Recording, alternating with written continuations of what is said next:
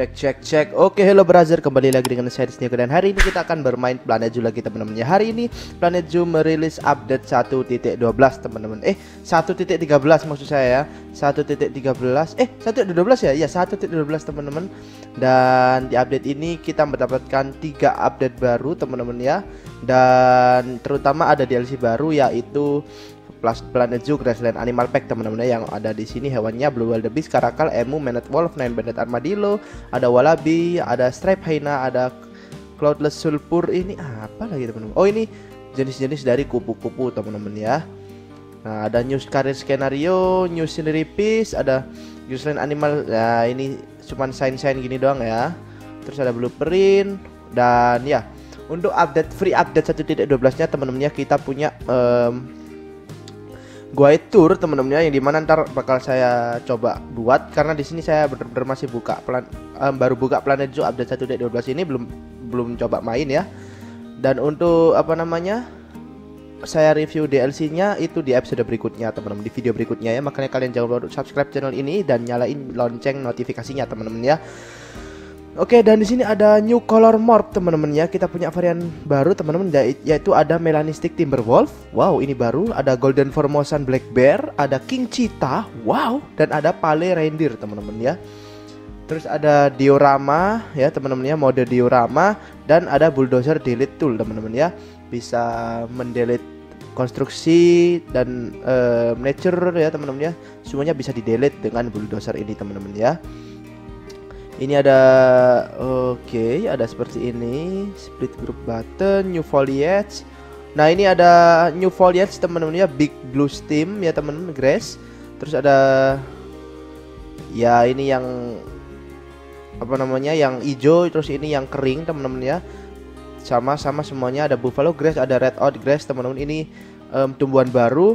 Terus ada scenery baru yaitu ada walkthrough exhibit hanging basket planter. Ya ini buat apa namanya buat exhibit teman-teman ya. Terus ya seperti biasa ada general fix fix bug gitulah teman-teman. Nah seperti itu. Oke langsung aja kita coba ke kebun binatang saya teman-teman ya yaitu ini. Dan ini adalah sebenarnya map dari saya um, bikin untuk teman-teman ya. Cuman mapnya tapi belum jadi tapi kita main di sini aja. Soalnya um, jadi masih sepi lah intinya teman-teman ya tempat-tempatnya gitu kita langsung mulai aja yang pertama teman-teman ya yaitu ada tour guide teman-teman. Jadi di sini ada tour point teman-teman. Jadi saya belum tahu fungsinya tapi kita coba taruh di sini teman-teman tour point ya. Coba kita taruh di sini. Nah kita taruh di sini satu, terus kita taruh di sini satu teman-teman. Dan di sini satu ya, coba teman-teman ya. Nah kita belum punya edukator juga teman-teman. Jadi kita langsung aja um, hire edukator di sini staff edukator teman-teman. Nah mungkin dua. Nah edukator ini kita coba lihat. Um, oh nggak bisa di gitu ya. Oke langsung aja kita coba buka untuk um, zoo ini teman-teman. Coba buka. Nah ntar untuk settingannya. Saya coba lihat sandbox untuk gue settingnya maksimum limit limit of questnya Oke 500 Udah cukup teman-teman itu ya. Oke mari berdatangan untuk para orang-orang di sini. Oh ya kita coba taruh ini juga dulu teman-teman Apa namanya Education boardnya ya. Oke udah saya taruh education board Dan kita coba lihat di sini teman-teman Education content Ini kasuari Yang ini Niala teman-teman dan um, Yang ini Saltwater crocodile teman-teman kalau intermission ini apa? Kita coba lah ya. Yang ini intermission ya. Oke, okay, oke, okay, kita open tour manager. Oh, di sini kita bisa buat tour, teman-teman. Oke. Okay. Oke, jadi kita langsung plus di sini tour satu ya. Tour satu. Udah. Oke, tour satu F. Selector start. Oke, kita selector start, teman-teman. Nah, kita langsung start turnya di um, saltwater crocodile. Habis itu ke sini. Oh, oh, oh, oh, oh, tahu tahu tahu saya. Jadi kita klik yang ini dulu, confirm. Terus select point. Nah, kalau select point ini bisa dua gitu, teman-teman. Nah, habis ke sini terus ke sini. Tapi kita um, poin ini aja untuk select poinnya karena ini kita akan jadikan n, teman-teman ya. Jadikan selector n. Nah, langsung aja di sini kita pencet confirm. Nah, seperti ini. Nah, udah deh teman-teman ya. Fee. Oke. Okay. Oh fee itu apa nggak tahu saya teman-teman. Gak usah deh, gak usah, gak usah. Oke, jadi ini udah ter apa ya teroperasional ya teman-teman di sini tour 1F. Nah kita tinggal tunggu aja untuk edukatornya ini teman-teman ya. Um, tour di sini. Nah di sini juga ada jamnya nggak sih? Hmm, tour start. Oke tour start. Oh nggak nggak nggak nggak. Oke ada jamnya nggak sih? nggak ada ya ya udah biarin lah teman-teman ya kita tunggu aja jadi yang ini ini ya teman-teman ya yang ini tuh um, apa ya ya intinya inter apalah tadi terus yang ini tuh animal talk yang ini juga animal talk teman-teman oke kita coba tunggu untuk um, kiper-kiper apa namanya edukatornya itu tour teman-teman ya Oke teman-teman dapatnya kita di sini udah dapat untuk turnya, tur grupnya teman-teman ya. Jadi ini dia tur grupnya. Dia ini awal-awal lagi di sini teman-teman ngejelasin ngejelasin lah ya. Masih meeting tur grup. Nah, kita coba percepat teman-teman.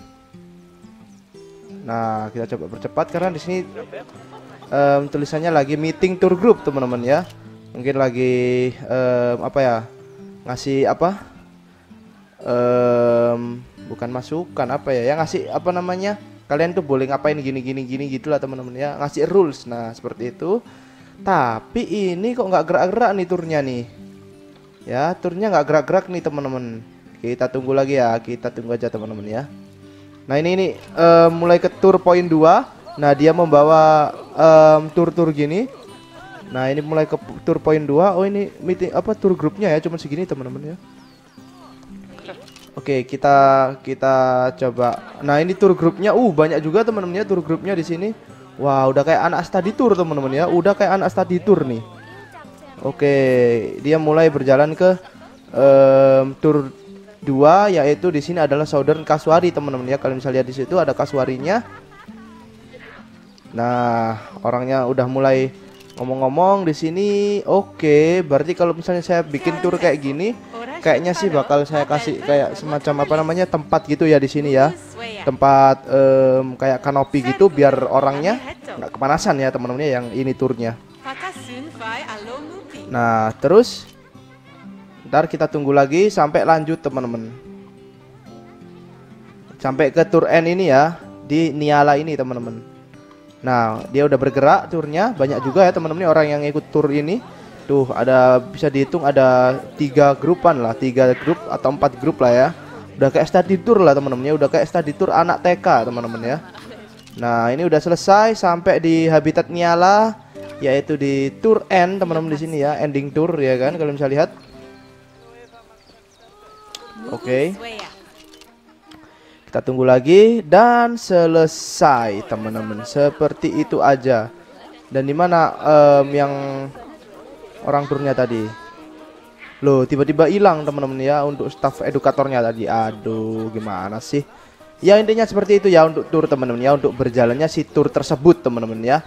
Oke selanjutnya kita di sini punya update apa ya teman-teman ya Kedua di sini ada diorama mode tapi saya di sini nggak bakal ke diorama mode dulu tapi di sini saya akan ke sini nih bulldozer apa namanya bulldozer um, item tool ini ya jadi ini bisa mencakup langsung segini nih misalnya ya.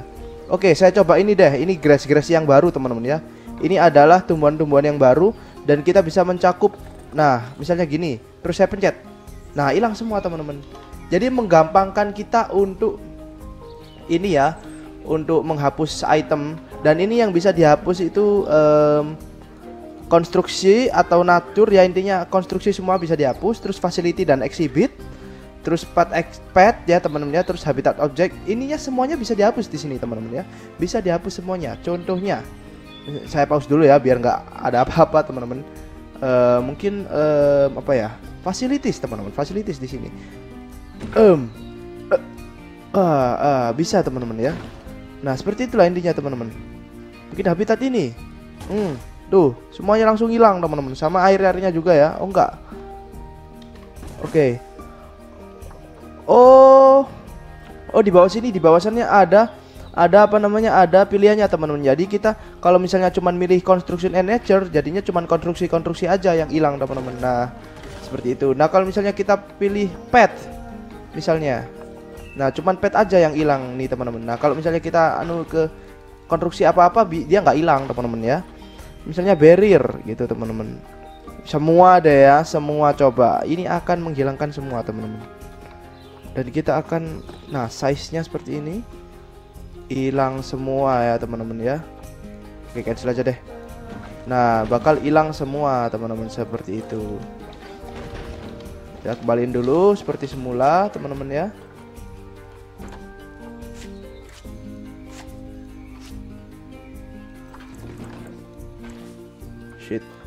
Nah udah semula teman-teman.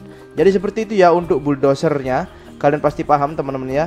Dan kita akan lanjut lagi ke yang namanya diorama mode teman-teman. Oh ya BTW ini adalah beberapa tumbuhan baru teman-temannya Jadi ada um, Ini ada big blue stern yang dry teman-teman. Ada juga yang grass. Nah seperti ini masih ada bunga-bunganya di sini teman-teman ya.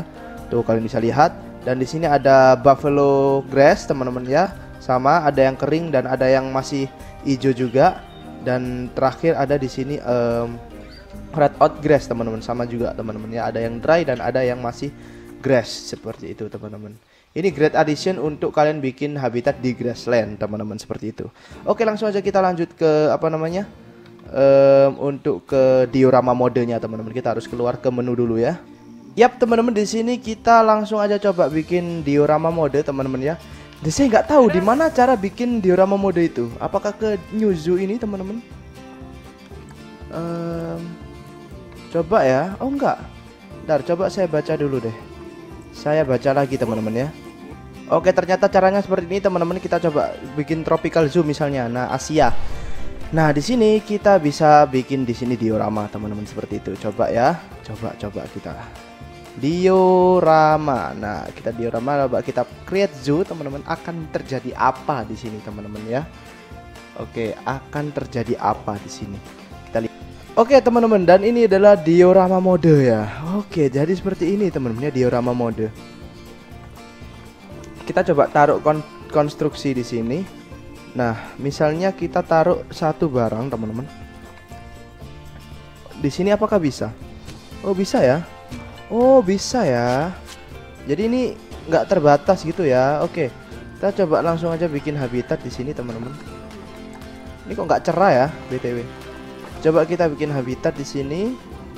Dan di sini kita bisa bikin habitat yang bener-bener Kayak Rudy Ren Camel Terus kayak Apa teman-temannya. Tapi saya Aduh gimana nih bikinnya nih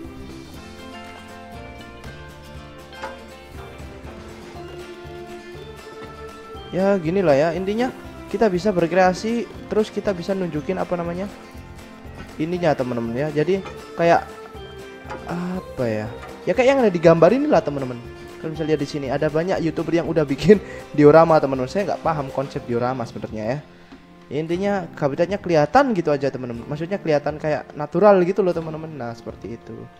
Oke lah ya mungkin cukup segini dulu untuk video update 1.12 ini teman-teman ya kayaknya cuma segitu ya emang tiga doang. Yang nggak bisa saya apa namanya liatin itu yang melanistic wolf terus apa lagi? Um, pale reindeer itu teman-teman ya nggak bisa saya liatin karena itu harus breeding dan biasanya itu lama teman-teman ya jadi mohon maaf banget mungkin um, kalian bisa lihat di video-video di YouTube teman-teman pasti ada ya. Oke mungkin cukup segini dulu video kali ini. Kalau gitu jangan lupa di like share comment dan subscribe channel ini oke? Sampai jumpa di video selanjutnya. See you next time Bye bye.